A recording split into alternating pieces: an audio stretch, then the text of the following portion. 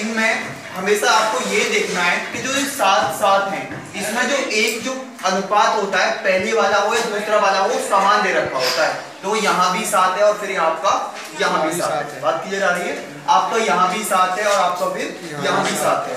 अब यहाँ सात है दोनों का साथ साथ है ये ठीक है?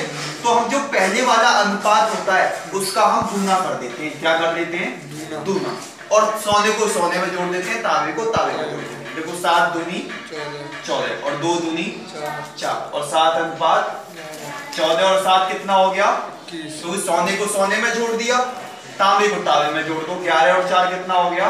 पंद्रह। काट दो। तीन सत्ते तीन पंजे